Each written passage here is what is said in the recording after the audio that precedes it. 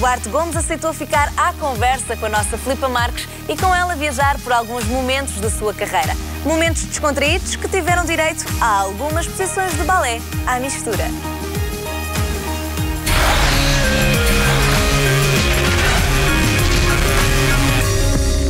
Tem apenas 28 anos, é um jovem que faz palpitar muitos corações. Começou aos 14 a estudar no Chapitó. Estou a falar de quem? De Duarte Gomes, com quem vou ficar à conversa.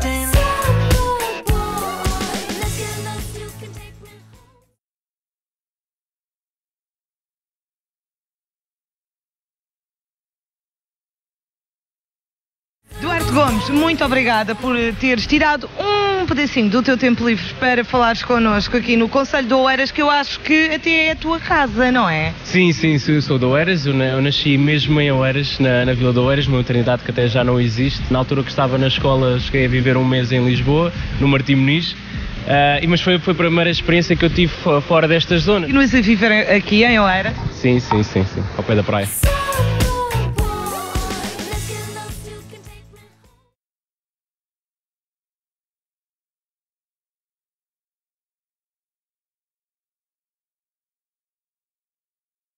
Desde muito cedo quiseste enverdar por esta vida de ator ah, e foste estudar ah, com apenas 14 anos para o Chapitão, foi? Sim, sim.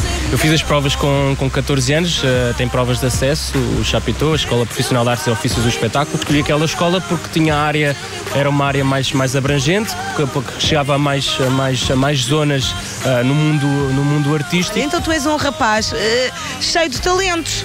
Tu, tu ainda, tu ainda danças ma- magnificamente, ah, cantas, ah, consegues fazer malabarismos. Eh, cantar, cantar não, cantar não, nunca foi o meu forte. Eh, dançar, eu tinha, tinha, boas, tinha boas notas. Nós tínhamos aulas, eh, especialmente era, era, era contemporâneo.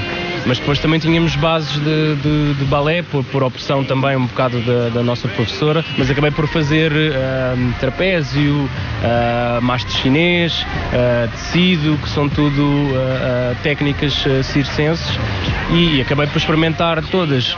E pronto, e vivi, vivi assim uns, uns três anos loucos. mas sim, ainda me lembro de algumas coisas, mas não vou dizer que sou o mais forte em circo, não sou, não sou. Nós já te fazemos um teste. É com morangos, com açúcar. Essa é a experiência mais sério eh, na representação em televisão. Foi muito importante para mim, tal como foi, tenho a certeza, para, para muita gente.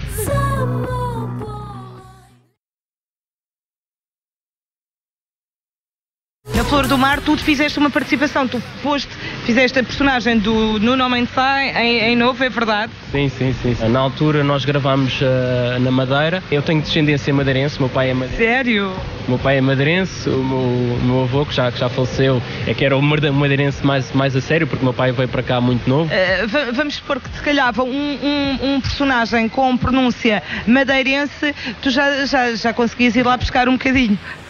Não, consigo ir buscar um bocadinho da pronúncia madeirense. Ah, posso dizer que não é uma pronúncia que não me diga nada.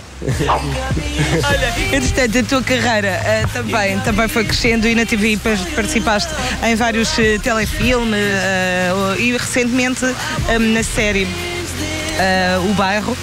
Nós tivemos um mês, eu não sei, um mês e umas semanas só de preparação. No meu caso, o Zé Cigano. Como é que o Zé Cigano luta? Como é que, como é que ele pega na arma? Onde é que ele põe a arma? É que de repente nós já estávamos a falar todos uns com os outros, já muito à bairro, mesmo a puxar tudo muito à bairro. Foi tudo eh, feito com, com, com, com calma e, com, e nós vamos construir aqui uma coisa que nos vamos orgulhar. Zé Cigano. Eu juro pela mãe da minha mãe, Diana, eu juro! Eu não fiquei com relógio nenhum! Eu juro por todas as alminhas do purgatório, eu juro! Tu sabes que eu não era capaz de fazer isso! Tu sabes, eu juro, está aqui tudo! O que foi? Eu não fiz nada, senhor chefe. O que é isto aqui, hein? Cheirou-te a orelha? Não, é mesmo com cigarro. Olha, chegámos então agora à última eh, personagem beijo do escorpião. Na rua as pessoas ainda se dirigem a ti enquanto eh, Miguel. Sim, sim, sim, sim.